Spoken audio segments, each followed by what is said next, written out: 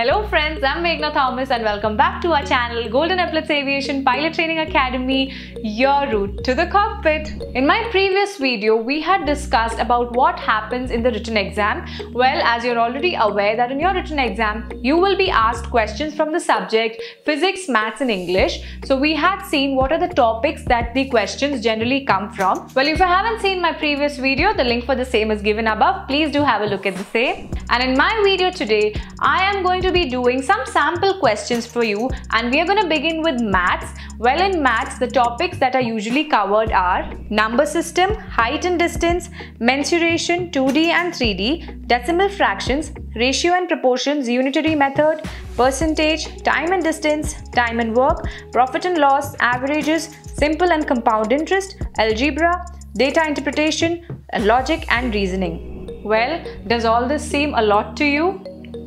Don't you worry, I am here today to help you solve some of the questions. Basically, I'm going to give you some examples of the kind of questions that you can expect when you go for your written exam in the Cadet Pilot program. So for today's video, the questions that we are going to be solving will be from the topic speed, distance and time. Here I will be showing you a sample question and I will also be solving those for you. So please be ready with your pen and papers. This is your beginning for the preparation of the Cadet Pilot program exam. So the first type of questions that we are going to be solving from the speed, distance and time questions are going to be the train problems. In these questions, you can expect four types of questions.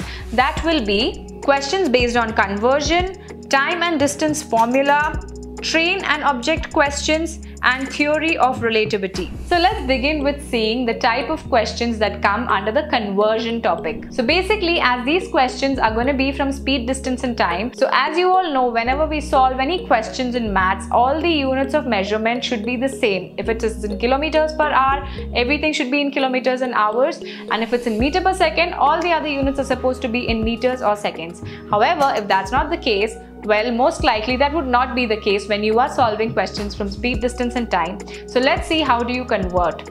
Well, to begin with, the first thing is how do you convert kilometers per hour to meters per second? So to convert kilometers per hour to meters per second, all you do is multiply that's a particular number with 5 by 18 and if you are to convert from meters per second to kilometers per hour, all you have to do is multiply by 18 upon 5. So this is basically about how you convert your units from kilometers per hour to meter per second. Now coming to the second type of questions which are going to be simple questions based on the time and distance formula.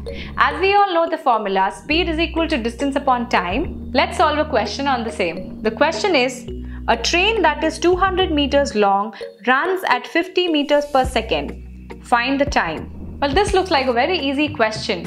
All you have to do is use your formula speed is equal to distance upon time. Well, let's see the solution. As you can see, the L that is the length is given as 200 meters and the speed is given as 50 meters per second. We will consider the length as the distance. Therefore, D is equal to 200 meters. Now you substitute the numbers into the formula. As your speed is already 50 meter per second, you would write 50 is equal to distance upon time which is 200 divided by t. Taking t to the other side, 200 divided by 50, you will get the answer as 4 seconds. So that was a simple question based on the speed, distance and time formula. Now let's see the third type of question that you can be asked. This is about the train and the object. Showing you a question here. A train which is 300 meters long is running at a speed of 54 kilometers per hour.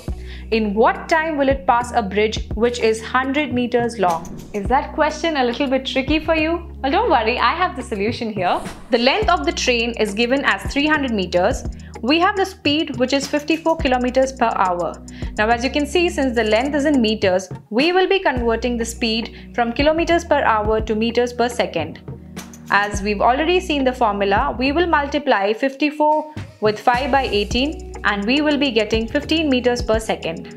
So that is your speed in meters per second. Now we are given the length of the bridge which is equal to 100 meters. Again using the formula speed is equal to distance upon time. Here we will calculate the distance as the length of the train plus length of the bridge. Length of the train being 300 meters and the length of the bridge being 100 meters. So 300 plus 100 is 400 divided by t that is 15.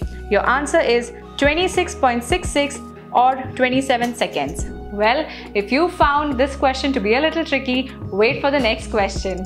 Well, in this type of question, you will be given a train and the object could be either a pole, a tree or a man. Let's see a question for example. A train covers 10 kilometers in 10 minutes. If it takes 6 seconds to pass a telegraph post, the length of the train is. Let's quickly see the solution. Here we are given the distance as 10 kilometers and the time in 10 minutes. We are going to be making the units same. So when we put this in the formula, speed is equal to distance upon time. We will multiply distance by 1000 and multiply time with 60 so as to get the speed in meters per second. So 10 into 1000 divided by 10 into 60 will give you 50 by 3 meters per second. We will just keep this in fraction for easier use. Now the time given is 6 seconds and the speed is 50 by 3 meters per second. We substitute into the formula. Here distance is given as L that is the length. We will substitute it into the formula with 50 by 3 into 6 which will give you the answer as 100 meters. So the length of the train is 100 meters. Well, this question for sure looked a little bit tricky. Now let's move on to the fourth type of question that can be expected and this is from the theory of relativity. Let's quickly see the question. Two trains of 100 meter and 200 meter long are at speeds 60 kilometers per hour and 30 kilometers per hour. They are traveling in the opposite direction on parallel tracks. What is the time taken to cross each other? Let's quickly see the solution. The length of train 1 is 100 meter and the speed of the train 1 is 60 kilometers per hour. Length of the train 2 is given as 200 meter and the speed is given as 30 kilometers per hour. Now since both the trains are in opposite direction, we will be adding the speeds. So S1 plus S2 will be equal to 60 plus 30 that gives us 90 kilometers per hour. However, if you see that the length of the train is in meters, so we will be converting 90 kilometers per hour to meters per second.